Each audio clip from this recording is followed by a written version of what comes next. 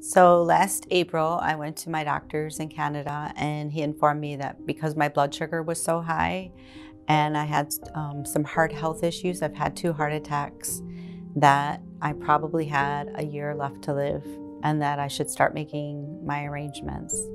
And that was devastating to me to think that I'm not going to watch my grandson get older, not watch my other children have kids because I have four sons. I'm Leslie Ann, and this is my story.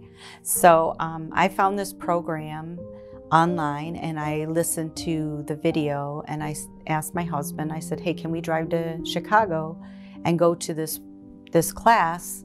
Um, it's going to talk about some health issues that I have. I have heart disease. I've had two heart attacks.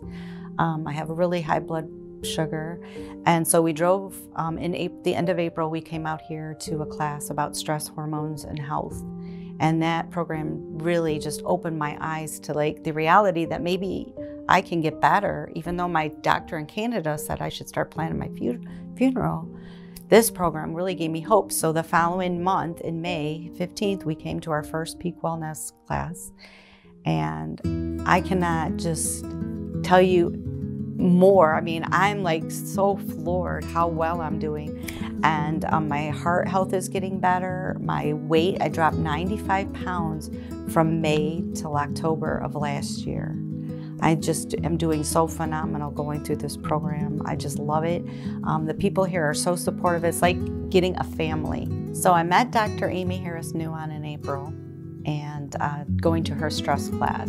And she was phenomenal. And she set us up right away with a consultation with her, with me and my husband. My husband didn't have any health issues, but he decided to go through the program with me because she encouraged you to bring like your spouse or someone important to you so you're not going through it alone because it's good to have that support. And man, she's phenomenal. She listens to everything.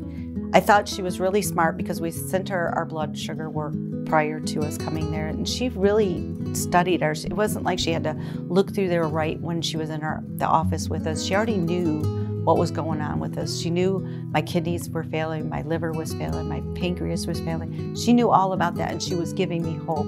She was able to detail a plan that would help me with my life, and then she hooked me up with Dr. Burmis as my new MD, and my goodness, that woman like spends a whole hour with you going through your test. She doesn't just rush through like other doctors will spend maybe 7 to 15 minutes with you if you're lucky and just try to push medications. They weren't doing that.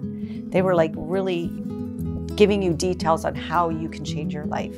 If you're out there listening to my story, I'd really love to encourage you to give Dr. Amy Harris Nguyen and the Center for Integrative and Functional Health and Wellness a chance. Because with their help, you can get the same results that I got.